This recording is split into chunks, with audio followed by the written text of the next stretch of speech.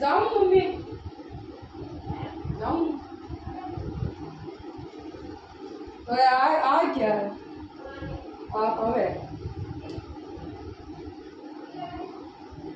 क्या सवा पाँच बजे आऊँ सवा पाँच बजे? क्यों? है